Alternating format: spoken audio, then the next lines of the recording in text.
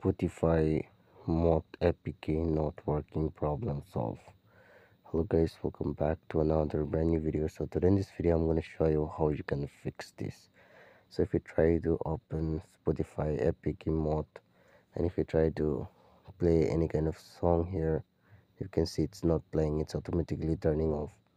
So guys to fix this problem what you need to do is that you have to click on this setting gear icon on the top right corner and then here you just need to scroll down and then go to cache okay?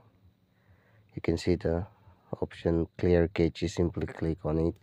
And here you have to clear the cache after this what you need to do is that you have to delete this application I mean Spotify okay?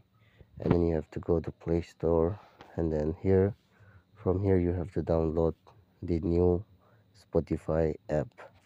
After downloading it, just check your internet connection and log in in your account and then your problem will be absolutely solved. This is because the problem arises because of you are using mod APK.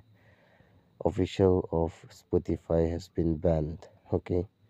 Uh, Spotify has banned the mod APK application now. So you just need to use the original Spotify from Play Store or App Store. Thanks for watching.